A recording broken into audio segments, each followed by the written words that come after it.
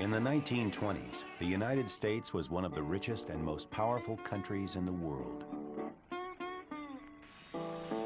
But the stock market crash of 1929 and the Great Depression that followed brought the good times to an end.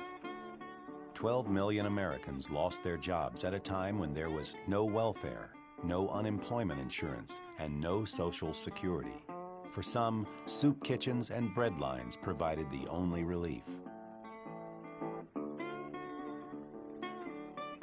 Times were hard enough for people in large cities across the nation. But American farmers and their families suffered especially severe hardships. John Steinbeck's novel, The Grapes of Wrath, is a record of the farmer's struggle to make a living during the Depression. The novel tells the story of the Joads, a family of farmers who were forced out of Oklahoma by a drought during the Depression. Their story was not unusual. Millions of American farmers, especially those living in the Great Plains, experienced the same hardships. People were just having to leave everything. They just left their belongings and, uh, and took what they could carry uh, and went to California. Like the Joads, farming families from the Midwest thought they could find work picking fruit in California's vast orchards. But California was not everything they had hoped it would be. There were lots of people here who were looking for work. There were a lot of people who were living marginally. Huge corporate growers had taken over the farms. They held enormous power, and they had more workers than they could use. Jobs in the large farms were hard to find.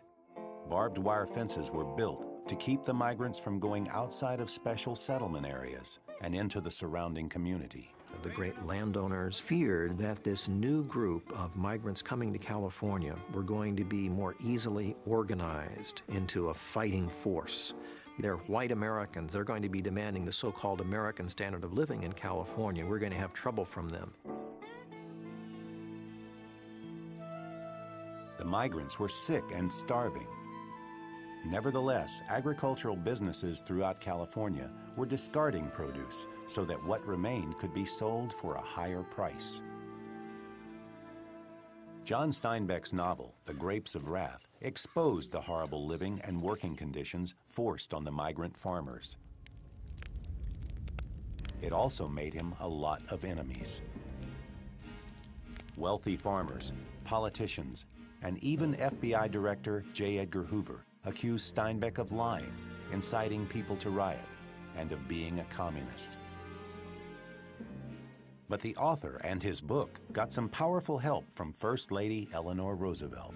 When Mrs. Roosevelt, who basically came out to see the conditions of the migrant workers, when she mentioned his name in his book, it completely changed the credentials of that particular piece of material which up until then, uh, people were saying was either an outright lie, it wasn't happening, he was distorting the facts. In 1933, President Franklin D. Roosevelt created an economic and social program to fight the Great Depression called the New Deal. The government set up a social security system, began giving financial aid to farmers, and put people to work on civil projects.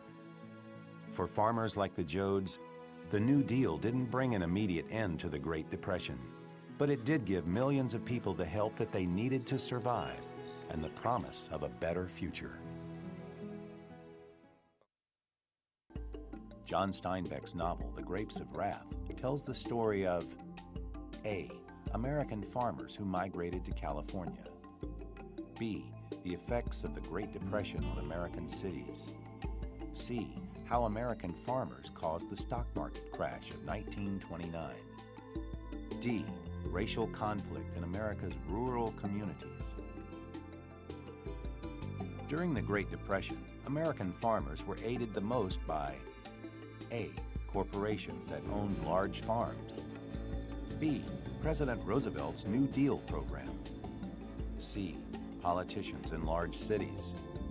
D ideal weather conditions in the Midwest. Why did American farmers suffer hardships even after they migrated to California?